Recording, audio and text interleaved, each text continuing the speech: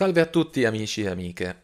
Nell'ultimo video che ho pubblicato, in cui ho voluto fare un test in simulazione per aiutare a capire meglio la questione sollevata eh, da Andrea Lombardi contro Parabellum a proposito dei missili Patriot, ci sono stati molti commenti, alcuni veramente interessanti, altri con domande altrettanto valide.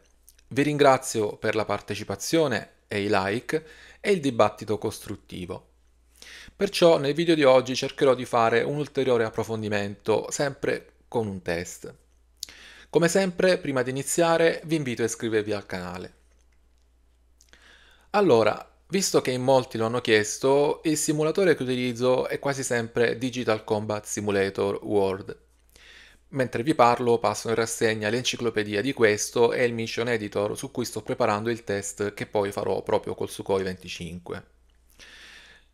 Questo test servirà per dimostrare quanto avvicinarsi al fronte per un aereo che vola a bassa quota sia possibile, nonostante le difese aeree, e che questa pratica di volare bassi è la normalità per i piloti da combattimento. Niente di strano, e ci sono dozzine di video in cui i piloti reali volano anche più bassi di me. Poi sottolineo che DCS è uno strumento semiprofessionale, è il miglior simulatore militare in circolazione, cioè non è un videogioco come uno nei commenti lo ha chiamato, dicendo che non capisco nulla di queste cose usando un videogioco. Grazie. Faccio presente comunque che non sono un ragazzino, ho quasi 50 anni comunque. Quindi Prima di definirlo un videogioco vi ricordo che i simulatori per definizione sono strumenti didattici e di studio, su cui si addestrano i piloti reali quanto gli appassionati. Tanto che oggi le ore in simulazione sono considerate certificate, pari e propedeutiche al percorso in reale che fanno i piloti. Soprattutto sistemi di simulazione complessi e avanzati permettono di fare analisi quando non si hanno guerre su larga scala con dati statistici certi a cui fare riferimento. Sono strumenti molto utilizzati in via ufficiale e questo lo dico per esperienza perché molti dei siti e dei software che circolano in rete per quelle telemetrie derivano proprio da DCS. Quindi, finita questa premessa, aggiungo che il mio intervento nella diatriba che è nata fra il canale di Andrea e Parabellum non c'entra niente.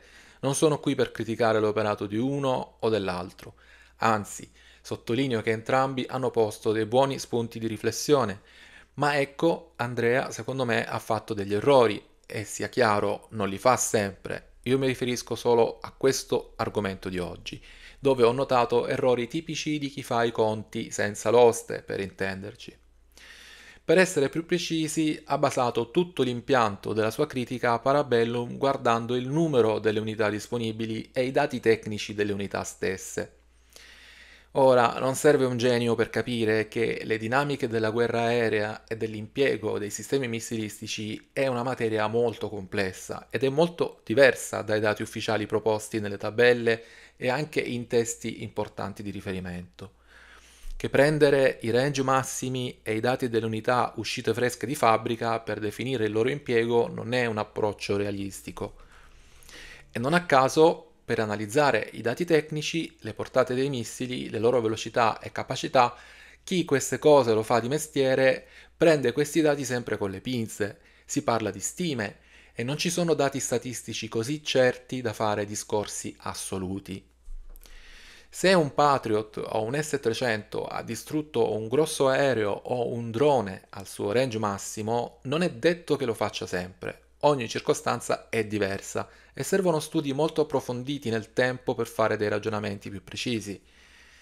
E vi dico questo perché sono passati poco più di due anni di conflitto con l'utilizzo di queste armi quando prima il loro impiego così intensivo era considerato fantasia, quasi un discorso di fantascienza, e le stime e i dati tecnici erano noti solo agli ambienti di simulazione militare. Quindi due anni di conflitto ci dicono qualcosa, ma non tutto. Possiamo farci un'idea, ma come ho detto per studi e analisi storiche ci vorranno esperti e molti anni di studio esattamente come avviene poi per le stime delle vittime di guerra. Quando si parla di missili e il loro impiego, le variabili poi sono tantissime, basta veramente poco a deteriorare le loro prestazioni, i range e le capacità in generale. Fattori come ostacoli naturali, condizioni atmosferiche, densità dell'aria, non ultima la condizione e l'usura dei materiali, del propellente, i malfunzionamenti, Tutte queste cose incidono nel comportamento del missile, ma soprattutto non si possono fare ragionamenti sul range senza considerare che il bersaglio da colpire si sta muovendo. A quel punto, se è un aereo che si muove e fa delle traiettorie imprevedibili, i discorsi sui range si possono buttare nel cestino. Quindi capirete che queste variabili non sono da poco e a questo poi bisogna aggiungere il fattore umano che incide sopra ogni altra cosa. Una piattaforma come il Patriot nasce come sistema antimissile, ma può essere impiegata anche contro aerei. Ha degli automatismi, ma non tutti, tutti questi sistemi sono controllati da operatori che autorizzano, autorizzano il lancio, fanno delle valutazioni, possono essere efficienti, ma possono anche sbagliare.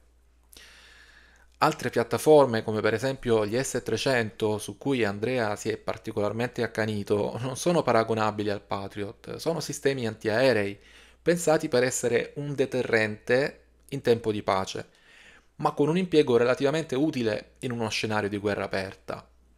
Il posizionamento di questi scudi missilistici a lungo raggio di fatto chiude lo spazio aereo in generale per velivoli che vogliono violare quello spazio aereo ad alta quota. Ma come ho spiegato e dimostrato anche nel video precedente, questa applicazione va totalmente ridimensionata per gli aerei che volano a bassa quota.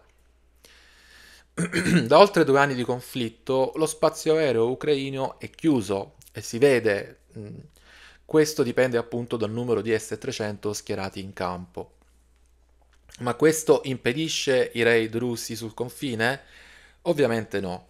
Su questo argomento ho notato una certa confusione, o meglio, poca conoscenza di come si è evoluta la disciplina della guerra aerea per le operazioni di attacco al suolo negli ultimi 70 anni.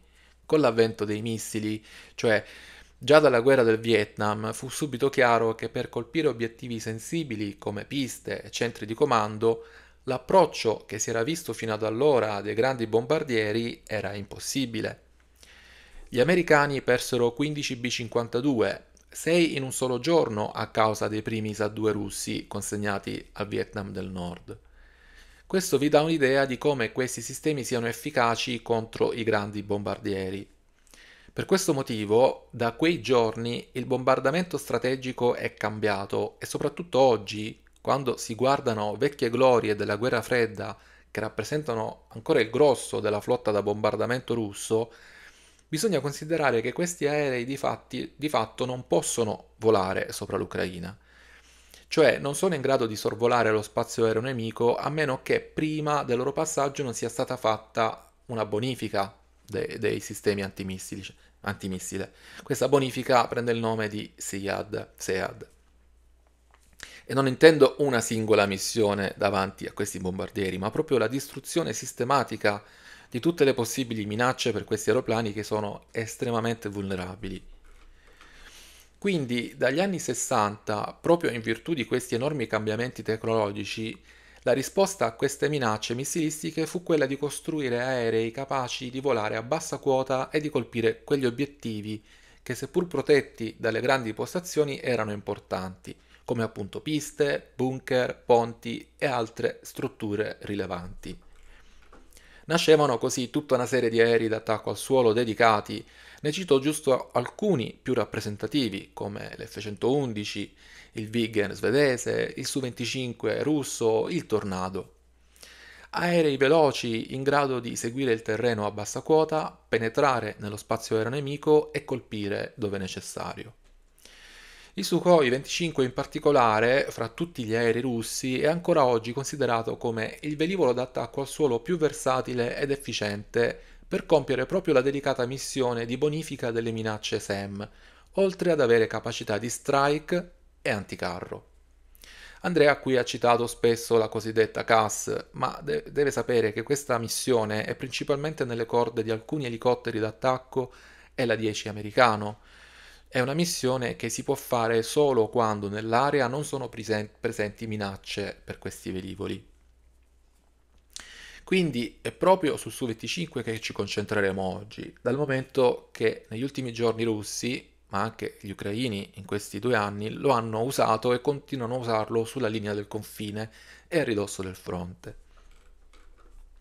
Ma voi direte a questo punto, quindi basta volare bassi per fregarsene di Patriot, S-300 e companatico?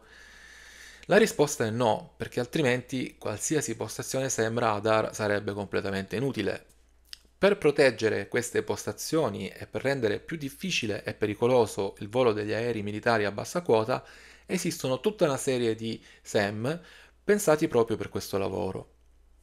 Da parte russa il più importante è sicuramente il Sa-15, detto Thor. Questo semovente su cingoli ha 8 lanciatori per la difesa di punto antimissile e antibomba. È un'unità fondamentale per gli assetti russi Diciamo che una postazione S300, quella a lungo raggio, senza qualche SA-15 che possa difenderla, potrebbe essere distrutta anche dall'aereo di Paperino, a cannonate per intenderci, perché è troppo vulnerabile. Allo stesso modo, SA-6, SA-8, SA-19 sono tutti sistemi che combinano antenne radar con guide dei missili di tipo radio o teleguidati che servono proprio a fortificare la difesa a lungo raggio e combinano capacità di difesa antimissile e antiaerea a cortissimo e medio raggio, proprio per fortificare i grandi scudi missilistici degli S-300 e le versioni successive. Quindi, se mi avete seguito fino a questo punto e in risposta al video di Andrea, l'Ucraina dichiarava oltre 200 unità di S-300 all'inizio del conflitto, numero che a quanto pare ha fatto davvero impressione ad Andrea, dicendo che l'Ucraina è il paese con più difese del mondo dopo gli Stati Uniti. Ma evidentemente non ha capito che quel numero si riferisce ai lanciatori, non a tutto il sistema, che diciamo in teoria dovrebbe essere compreso fra i 2 e i 5 pezzi in totale, dove per ogni sistema c'è un'antenna radar di ricerca, una di tracciamento, una di coordinamento. Quindi per essere più precisi e fare una stima molto ottimistica di unità S-300 operative in Ucraina nel 2021, quel numero andrebbe diviso per 3 o 4, quindi una cinquantina in totale, non 200. Il semplice camion con i quattro lanciatori non è un'unità S-300, è una parte di questa. Infatti quel camion con il lanciatore non può fare niente da solo, non può lanciare missili, non può fare nulla non può farlo senza le unità di controllo e, e ricerca e tracciamento, che sono appunto deputate alla guida dei missili e alla scansione. Quindi, pur restando di manica larga, il numero sarà stato di una cinquantina di sistemi completi di S300 disponibili. E questi sap- di questi, fra l'altro, non sappiamo quanti effettivamente erano operativi. La linea di produzione del 300 è iniziata nel 1978 ed è ferma dal 2011. Sono passati troppi anni per un missile così grosso e delicato. Penso onestamente che gli addetti alle batterie si siano fatti il segno della croce tutte le volte che ne partiva uno. Le altre unità russe, dichiarate nella tabella che ha mostrato Andrea, sono invece quello che avrebbe dovuto fargli capire meglio la situazione. E non a caso Mirko lo ha fatto perché proprio quelle unità sono molto più importanti di quello che sembra e servivano a difendere gli S-300. Con 72 SA-11 Book, anche qui faccio presente che vale lo stesso discorso per gli S-300, le unità Book non operano da sole, quindi questo numero andrebbe diviso per 3 se non di più, anche considerandole tutte funzionanti saranno state una ventina in totale. E poi, badate bene, l'Ucraina disponeva di soli 6 Sa-15 Tor, questi sì sono unità singole e indipendenti. È chiaro? Cioè una cinquantina di S-300 protette da una ventina di Sa-11 e 6 Sa-15 per una nazione enorme come l'Ucraina capirete che siamo molto, molto lontani dal discorso che fa Andrea nel tentativo di contraddire Parabellum. E probabilmente Mirko queste cose le sa, cioè voglio dire, credo che il suo staff conosca come si compongono le unità di cui stiamo parlando. Si sa per certo poi che in due anni di conflitto molti dei vecchi S-300 ucraini sono stati distrutti e non sappiamo il numero di missili ancora disponibili, dato che queste forniture si sono interrotte da anni. È presumibile quindi che queste unità siano state schierate molto in profondità in territorio ucraino per proteggere obiettivi più importanti come centri logistici, infrastrutture, aeroporti e le grandi città ma come ho spiegato nel video precedente non sono schierate a ridosso del fronte e non possono esserlo. La capacità offensiva contro aerei militari di questi sistemi, per essere realistici, è di circa 120 km. Certo, in rete troverete dati che parlano di 400 km, ma questo vale per l'ultima variante con il missile più moderno e i test prodotti a freddo contro droni bersaglio. Poi, oltre a questi che ho citato, esiste tutta una serie di SEM più subdoli che sono pensati per intercettare proprio gli aerei che volano a bassa quota. In questa classe abbiamo tutti gli Strela e i derivati. Sa-13, un mezzo che può lanciare 4 piccoli missili infrarossi. E poi ogni soldato che può lanciare missili spalleggiabili di tipo Igla o Stinger. E poi ci sono chiaramente pezzi contraerei, alcuni molto cattivi come il Sa-19 Tunguska, oppure altri molto più vecchi come il ZSU-23 Shilka e ancora pezzi ancora più datati come ZU-23 che possono essere montati su camion o su postazioni fisse. Questi ultimi possono essere efficaci contro elicotteri o velivoli lenti, ma contro aerei lasciano un po' il tempo che trovano.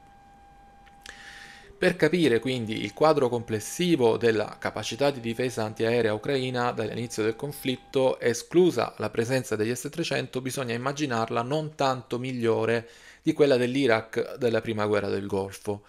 È più o meno in linea con gli assetti tipici di un paese dell'ex Unione Sovietica, ma dato il suo ruolo strategico e l'enorme estensione del territorio, magari disponeva di qualche decina di unità in più. Quindi siamo molto lontani dalle affermazioni di Andrea per cui sarebbe stata seconda solo a quella degli Stati Uniti. Dal 2023 sono arrivate forniture NATO e i numeri che vi sto per dire confermano l'orientamento di questi assetti, con 12 sistemi Patriot, 6 Iris-T a medio raggio, 4 Hawk a medio raggio, 9 eh, NASAMS a corto raggio poi Gepard e altri piccoli mezzi che rappresentano un po' gli analoghi degli Strela come l'Avenger, il Mistral, eccetera, eccetera. In sostanza, quello che lo stesso Andrea ha proposto nella sua tabella è una sostituzione progressiva dei pezzi russi andati distrutti in due anni di conflitto e in linea di massima conferma lo stallo della situazione attuale e quindi non aggiunge niente di strabiliante a quanto detto anche da Parabellum né lo contraddice. Ora parliamo del Su-25. Questo aereo piuttosto brutto, anche bello ma brutto, ma estremamente efficiente per certi aspetti, è simile alla 10 americano, almeno come concezione, anche se nascono per due ruoli molto diversi e possono fare anche ruoli simili. Il Su-25 ha una varietà di armamento pensato soprattutto per la SIAD, con capacità anticarro, un sensore televisivo e telemetro laser e missili guidati e non guidati, più tutta la varietà di bombe tipica russa a caduta libera con diverse tipologie di munizionamento. Nelle immagini che circolano in questi giorni, che lasciano perplesso Andrea, che non spiega perché questi aerei non vengono abbattuti dai SEM, si vedono le tattiche che ho descritto né più nemmeno nel video precedente. I piloti russi arrivano bassi, sfruttano il terreno e nel momento in cui sorvolano la Feba, cioè il territorio conteso, lanciano le loro contromisure, eseguono la loft bombing, cioè salgono e sganciano e poi se ne vanno. Molto spesso non impiegano neanche armi complesse, semplicemente lanciano grandi quantità di razzi non guidati.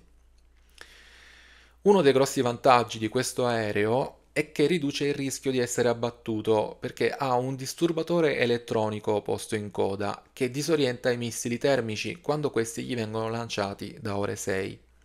Non avendo un posto bruciatore è un aereo freddo, quindi è più difficile da agganciare e può portare una marea di contromisure. L'aereo poi è molto robusto, è corazzato, può incassare colpi di antiaerea o missili, piccoli missili in realtà, e riuscire qualche volta anche a tornare alla base. E questo è quanto. Quindi, per concludere, gli ucraini non sono il paese più forte del mondo dopo gli Stati Uniti e i piloti militari studiano e applicano strategie per eludere le difese aeree fin dagli albori dell'aviazione militare. Per produrre video di analisi militare non basta consultare testi e notizie fresche su internet, è sempre bene parlare con le persone che lo fanno di mestiere o conoscono queste cose da più tempo. Ci si confronta si incrociano i dati e per commentare notizie fresche di conflitti in corso bisogna fare molta attenzione a non fare confusione fra le stime, i dati ufficiali e la propaganda. E bisogna anche riconoscere i propri limiti ed essere capaci di correggersi e fare un passo indietro quando si commettono errori. Detto questo, spero che il video vi sia piaciuto, lasciatemi un commento per farmi, per farmi sapere cosa ne pensate. Come sempre un abbraccio. Alla prossima!